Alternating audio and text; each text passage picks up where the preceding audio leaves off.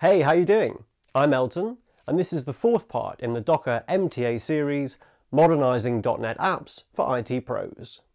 In part 3, I showed you how deployments and updates work using Docker Trusted Registry as a private store for Docker images and running containers in a Windows VM in Azure.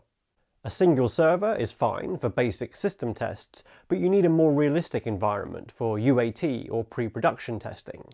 In this video, I'm going to deploy my app to a staging environment running on Docker using multiple servers for a scalable and highly available cluster.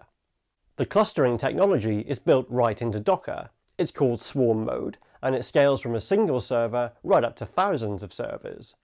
I'll show you how to use Docker for Azure to create the swarm, how to deploy and scale applications in swarm mode, and how you can add monitoring to your apps so you can see what's happening inside your containers.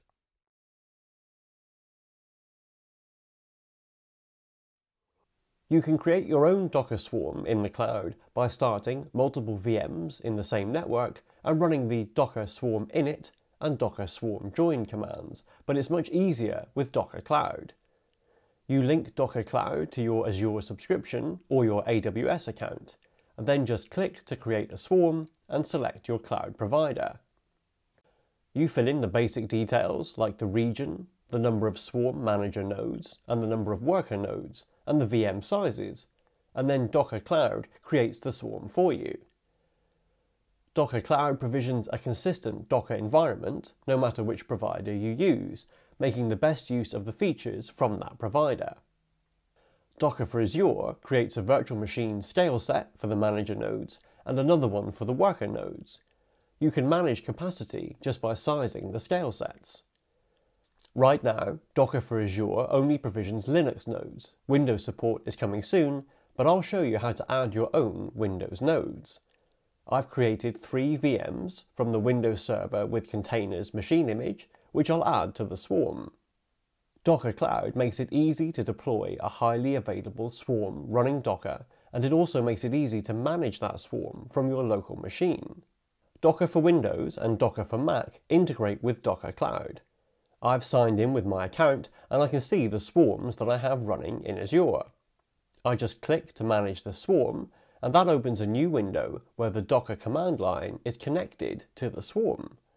I can run docker node list locally and see all the nodes in my remote swarm.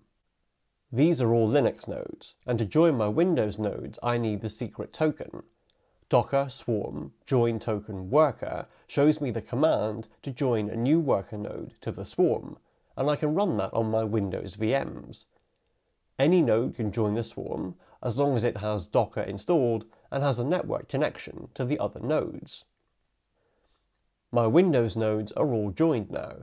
I have three managers, one Linux worker, and three Windows workers. Worker 2 is a special node it's running more memory than the other VMs. You can add labels to nodes in Docker Swarm to distinguish hardware like this, and I'm adding a label to say that this node has extra memory. You can deploy to Swarm mode using commands to create services, or you can use a Docker Compose file.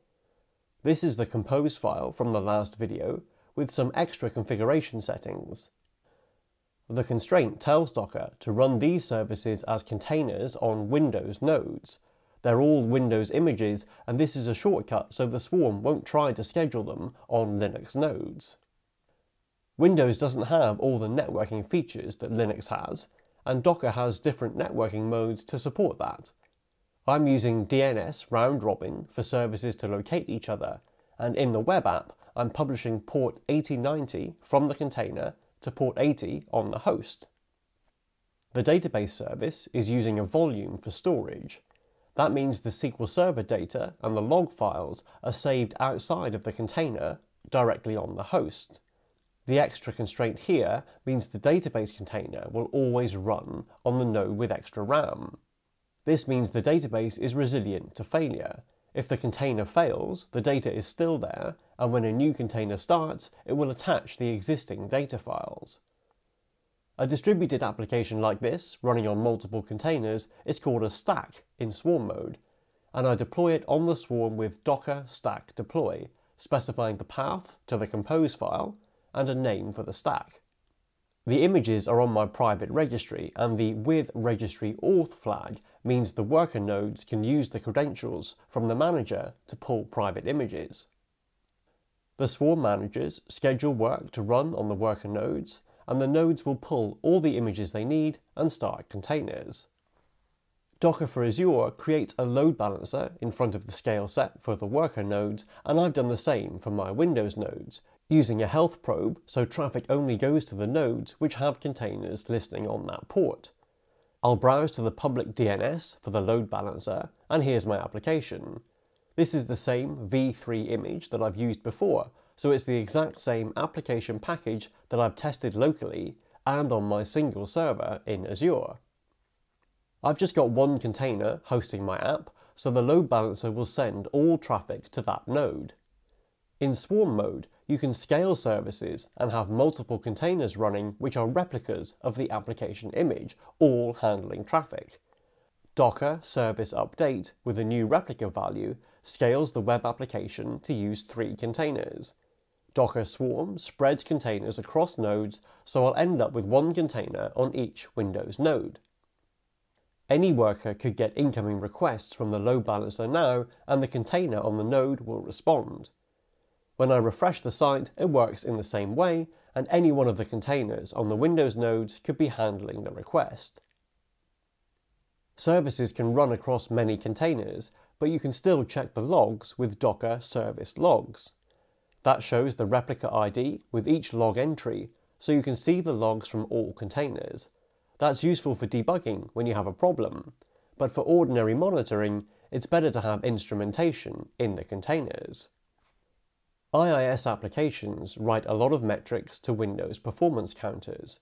That still happens when you're running in Docker, and you can see those metrics if you export them from the container. Docker has a huge ecosystem of partner and community products, including a very popular instrumentation server called Prometheus. You run Prometheus in a container and use it to poll other containers and collect their metrics. I've updated my web application Docker file to publish performance counters as Prometheus metrics. I'm using another Docker image from a sample project as the source for an application which reads performance counters and publishes them as Prometheus metrics. This is the setup for that exporter program, and I'm using a config file with all the performance counters that I want to capture. These are the main .NET and IIS counters. I've also changed the startup command so the exporter app is running in the background when you run a container, but I haven't changed the website at all. This is still the same code that came from the Windows 2003 VM. I'll build this as version 4 of my app image, and when I run it locally, the app still works in the same way but there's an additional endpoint I can browse to which shows me the performance counter values as metrics, like the number of requests per second. This is the endpoint that Prometheus will monitor. Prometheus uses a simple configuration file to specify endpoints, and in this setup, I'm checking the web app every 5 seconds. In the compose file, I've updated the web application to use v4 and added a service to run Prometheus. Normally you wouldn't make your metrics publicly available, but I'm doing that just for this demo. I'm still connected to my swarm, so I'll run docker stack deploy again, which updates the stack and brings it into line with the new compose file. This update is a zero downtime deployment, because Docker updates the web application one container at a time, and the load balancer won't send traffic into a node that's being updated. When I refresh the website during the update, there's no loss of service. This update also adds the Prometheus server, so I can browse to port 9090 and see the metrics being collected. This is the number of requests currently being handled.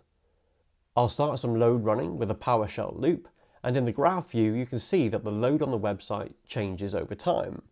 You can do a lot more with monitoring in Docker, Prometheus is just one option, but this is a simple way to get insight into your applications in a modern platform without having to change code.